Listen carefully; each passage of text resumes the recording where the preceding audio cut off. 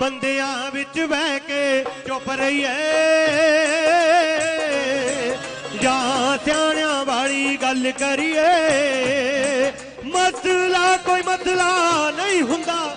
ਮਸਲਾ ਕੋਈ ਮਸਲਾ ਨਹੀਂ ਹੁੰਦਾ ਜੇ ਮਸਲੇ ਵਾਂਗੂ ਹੱਲ ਕਰੀਏ। ਬੰਦਿਆਂ ਵਿੱਚ ਬਹਿ ਕੇ ਚੁੱਪ ਰਹੀਏ।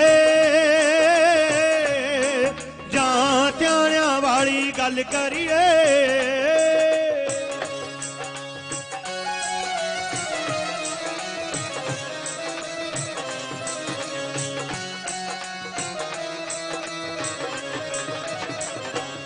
ਨਾ ਟੁੱਲੀਏ ਚੀਜ਼ ਬਗਾਨੀ ਤੇ, ਤੱਕ ਕੇ ਰੱਜ ਲੈਣਾ ਚਾਹੀਦਾ।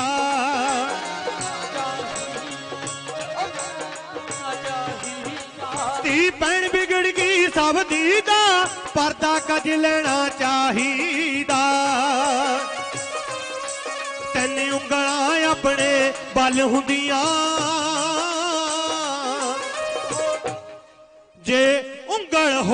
ਹੋਰਾਂ ਕਰੀਏ, ਬੰਦਿਆਂ ਵਿੱਚ ਬਹਿ ਕੇ ਚੁੱਪ ਰਹੀਏ। ਜਾਂ ਸਿਆਣਿਆਂ ਵਾਲੀ ਗੱਲ ਕਰੀਏ, ਬੰਦਿਆਂ ਵਿੱਚ ਬਹਿ ਕੇ ਚੁੱਪ ਰਹੀਏ।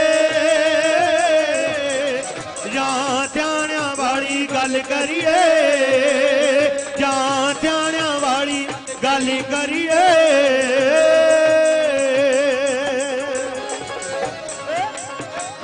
ਇੰਨੀ ਕੁ ਹਾਜ਼ਰੀ ਕਬੂਲ ਕਰਿਓ ਕਿਉਂਕਿ ਕਲਾਕਾਰ ਬਹੁਤ ਬੈਠੇ ਆ। ਸਵੇਰ ਤੋਂ ਆਏ ਆ ਸਾਰੇ ਕੋਈ ਨਿਰਾਸ਼ਾ ਨਾ ਜਾਵੇ। ਔਰ ਸਾਡੇ ਮੰਮੀ ਜੀ ਬੈਠੇ ਆ, ਸਾਰਾ ਹੀ ਪਰਿਵਾਰ, ਸੰਧੂ ਪਰਿਵਾਰ ਵਧਾਈ ਦੇ ਪਾਤਰ ਆ। ਕਿਉਂਕਿ ਮੇਲਾ ਕਰਾਉਣਾ ਬਹੁਤ ਔਖਾ ਤੇ ਮੇਰੇ ਵਰਗੇ ਨੇ ਦਿੱਤੀ ਪੰਜੀ ਨਹੀਂ